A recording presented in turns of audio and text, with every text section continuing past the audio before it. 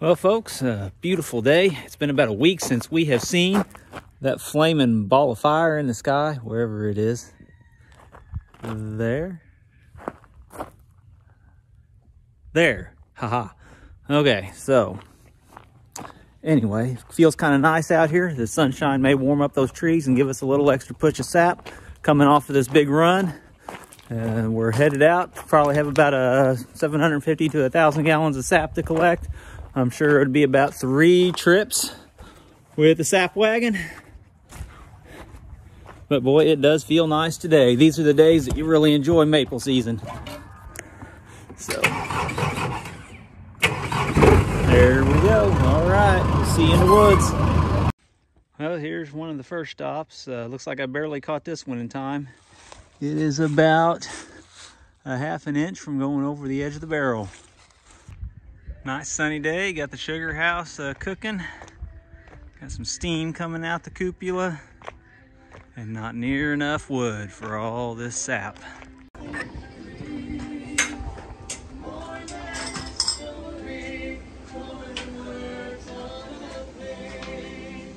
Drinking up the profits. Why is there a bowl in a cage? You know how you put cats in a cage to keep them away from stuff? Put a bull in a cage to keep the cats from getting to it. Guess you got a draw? Finished it off? Yeah, So it seems that uh, in my haste to get all the maple lines up, there was one line that I forgot to tap.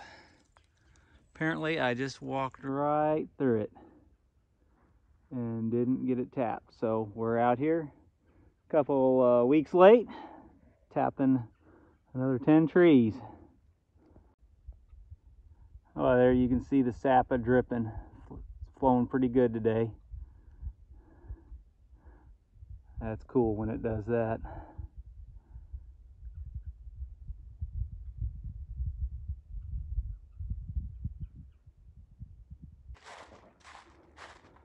So I got those few extra trees tapped.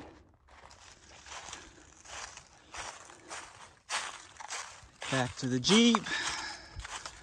Back to the RO. Here we're pumping some pumping sap out of A run. Overflowing barrel. I don't know what it is about these trees. And you can kind of see here, they are not real big trees, but they produce like crazy. I think uh, a couple things got going for them. Uh, the 3 16th line, and it's a steep slope, and it's also a north slope. So what I'm seeing is those tend to be the best producers. So sitting here, cooking away some maple syrup. Got my comfortable chair, have my cooker kitties, my Sugar Shack kitties, my Sugar Shack puppies, all enjoying the warmth. I think the cats are only here because they smell food. Because cats are selfish like that. But Katie, on the other hand, her, she has been our faithful Sugar Shack companion dog for just about the whole time we've been making maple syrup. So she's about as relaxed as I am right now, probably a little more. Well, we've been doing a lot of cooking and all of our storage containers are full. Now, normally we would uh, roll that over there in our little yellow wagon. But the little yellow wagon has a problem. Each of these milk pails, we have about four gallons of syrup in, give or take a little. They're fairly heavy.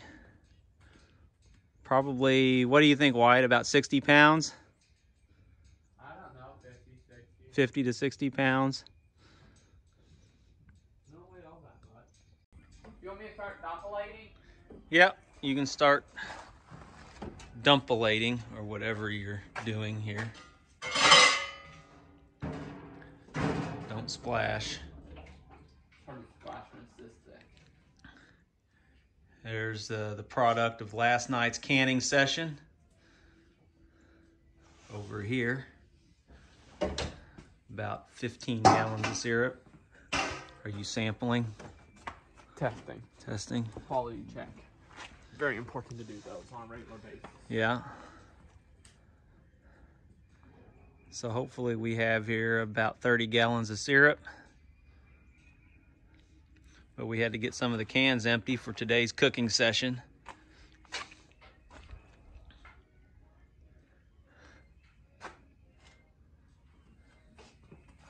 How's that sample? Pretty good. Now, here's the little yellow wagon we normally haul our syrup on. But as you can see, the wheel fell off. Catastrophic failure. Yeah, you do know what Kenny Rogers would have to say about that, don't you, Wyatt? What? You picked a fine time to leave me loose, wheel. Are you not amused? No. Looks like somebody's working on getting every last drop of syrup off of the piece of wood. So we're headed out this morning to gather some more syrup, uh, or gather some more sap.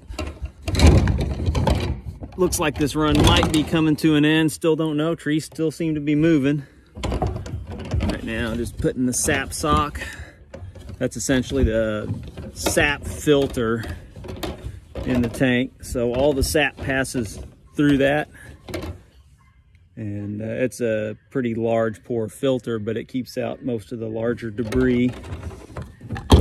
We try to keep the sap as clean as we absolutely can. Gives us a better quality uh, product in the end.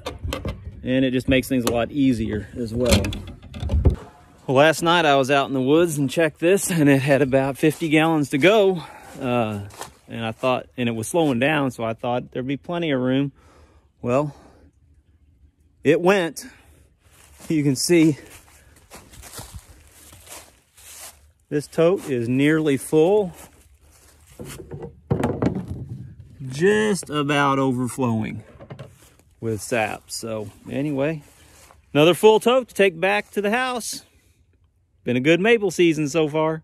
Uh, just a little extra tidbit of, just a little extra tidbit of information here. Kind of interesting that one of the reasons that I had the idea to do the maple is because my dad liked maple syrup, but it wasn't even real maple syrup that he that he started with. It was uh, it was the imitation homemade maple syrup. Uh, Mom would just make it out of sugar and water and, and maple flavoring, uh, but Dad always had to have that over the uh, the corn syrup, you know, store bought Aunt Jemima type uh, syrup. That, that's not real syrup. And that's what got me liking something a little bit different other than the typical corn syrup, breakfast syrup. Uh, and then I think my dad too, they started buying real maple syrup. And then when I got married, we started buying the real maple syrup. And after dad passed away, uh, I got the thing. I, I, wish he'd have been alive for it because uh, the year after he passed away, I got the wild hair to buy 20 of the old-fashioned taps to hang buckets on to see if we could make maple syrup and, and it worked obviously.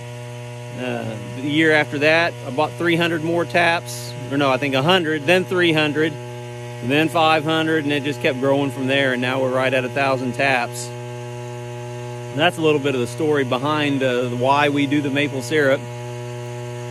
And uh, anyway another reason I just like being out here in in the woods uh, no better place to be in the winter. January and February is kind of a slow time on the farm anyway. All right, back at the RO.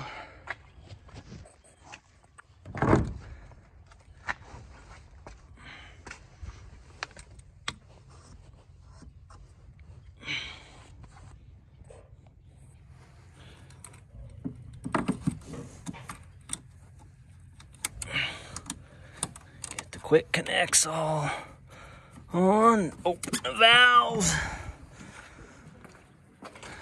Everything there is ready to go. So every now and then, it works just perfect once you get the evaporator really hot and you're dealing with concentrated sap to begin with, that you can get a near continuous draw. Uh, this draw has been going on for several gallons for sure. Uh, a couple nights ago, I had a draw like this speed last for over 30 minutes. So it's always nice when it works out perfect like that. It's right at or just above that seven over. And if you time your firing up right, it'll just continue like this.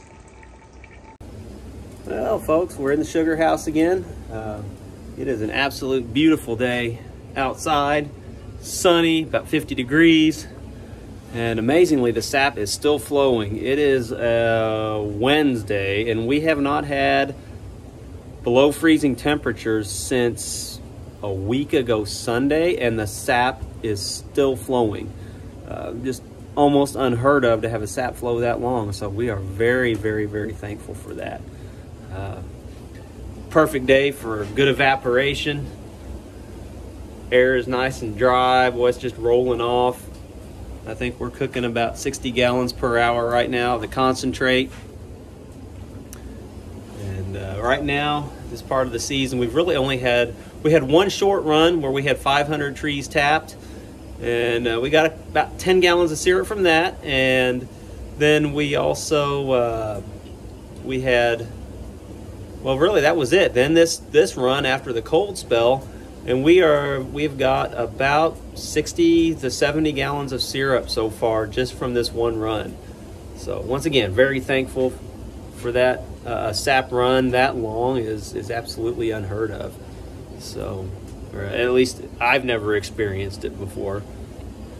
And we'll take what we can get. Uh, just another beautiful day in the in the sugar house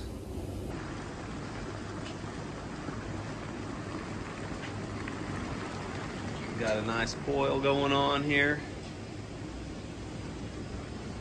We freshened up the pans, drained it, and cleaned the bottom. The niter was starting to build up pretty good. And that just increases the quality of the syrup a little bit more too, I think.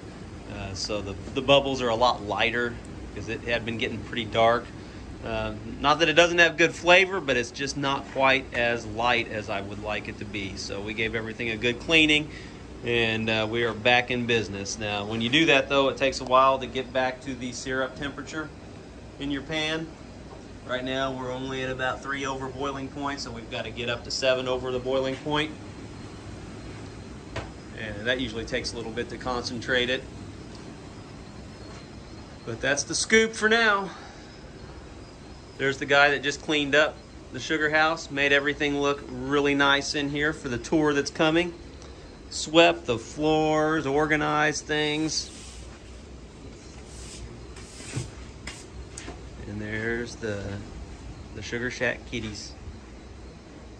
This is Sasquatch. Say hi, Sasquatch. And there is Sylvester. My, what big eyes you have. We are headed out to check the sap flow with a new sugar bush. And so far we've had seven days in a row where this sugar bush has given us well over one gallon per tree. And wow, it has done it again.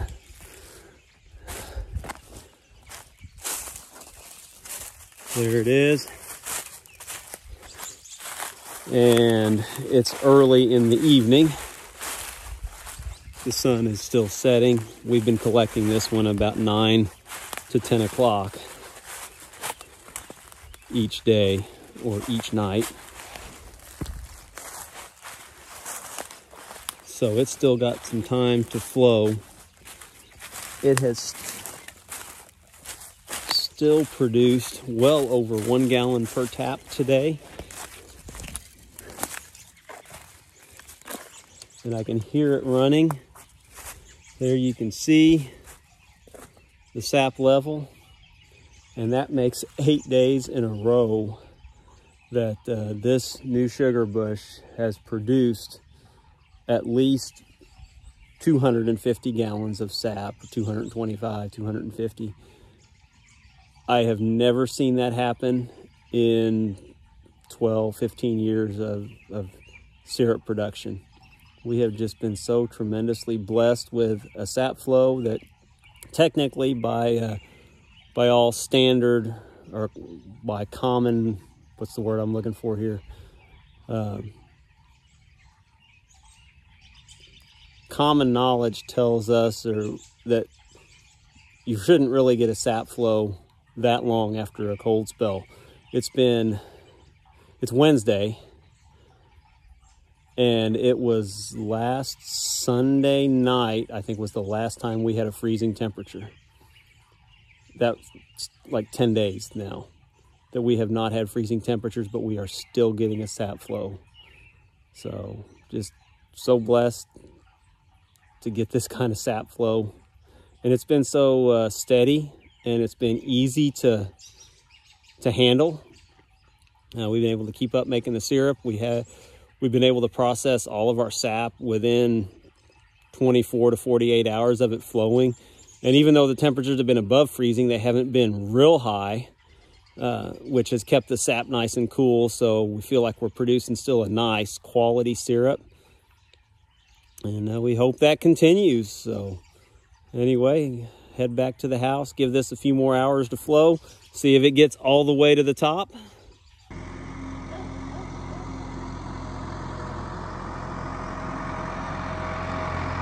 Bringing in the sap.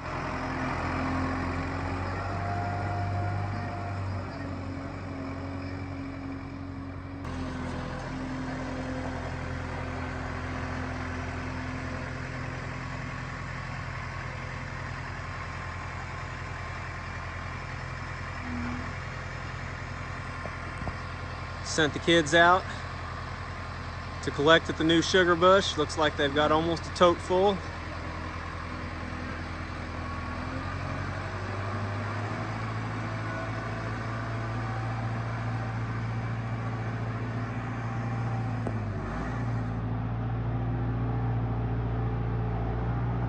What, no sound effects?